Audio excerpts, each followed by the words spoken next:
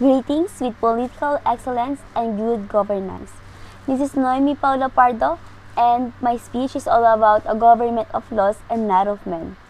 When I first started out to decipher that I made my mind to enter law school, that if someone told me down the track that I would be taking proceedings against Philippine government, I would have found the thought terrifying and hard to believe as well. Back then, I knew only one side of the story. I thought the law was about the government making it, enforcing it, and the rest of us following it.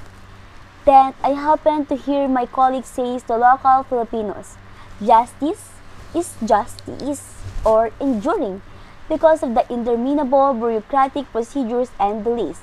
As a result, tens of thousands of people are imprisoned in appalling circumstances. The Philippine court system is in state of disarray. The answer to this problem is as straightforward as Adam Smith admonition to us. Establish a government of law and not of people. As a group, Filipinos believe that the country's problems emanate from a dysfunctional judiciary. They are seen to be corrupt. As a result, there is a widely held opinion that the legal system is corrupt. Everyone is subject to the law and no one is exempt. In today's legal system, the principle that no one is above the law is at its core and is at the heart of the rule of law, even though it sounds like a movie line. In other words, what does the rule of law entail? Even the most prestigious government leaders and politicians in a democracy are subject to the same rules as the rest of the populace.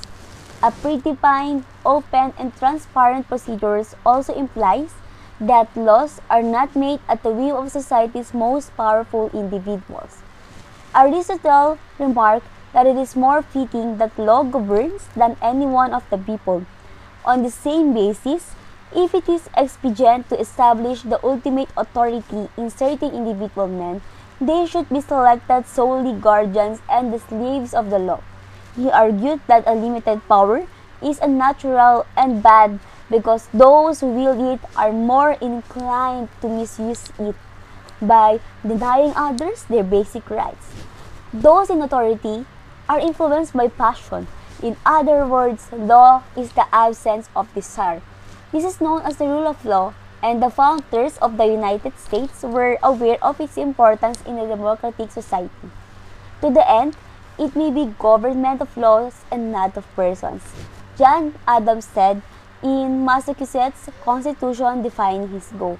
The expression governments of laws, not of persons was coined by John Adams. This implies that in a free society, the laws of governance must be established and well defined. Ordinary folks may not be able to exercise their fundamental rights because laws are too cumbersome. The rules of the government can be more made or modified at will. You can imagine living in a culture where you may be pulled over and arrested for no other reason than the color of your automobile as you drive down the street safe and sound your automobile gets a fresh coat of paint after you get out of prison, and a different police officer doesn't like it, so you're pulled over and jailed again. Imagine the possibilities. What it's like to live in a country where a high-ranking government shoots and murders an innocent person for no clear reason in front of multiple eyewitnesses, despite the fact that the government has a strict prohibition on murder. Imagine what it would be like if you live in a culture where the government may remove your house, children, or bank account at any time without notice and without requiring a specific process, it's hard not to feel vulnerable. Without a set of established rules, laws can be enforced in a way that is predictable and established. A society's rules must be created and enforced using objective criteria under the rule of law. In our daily lives, we frequently complain about having to obey regulations. While society's regulations are often seen as excessively limiting and inflexible, lacking the ability to accommodate our unique situations and demands. As a conclusion, while the rules may be uncomfortable at times, They really serve to protect us from the inescapable discomfort that a society without a set of enforceable standards would always bring. These principles, although not flawless, serve as a safeguard for our liberties since they are based on objective standards. Because we are governed by the law, we are at least somewhat free from the tyranny of a despotic dictator in the rest of the world.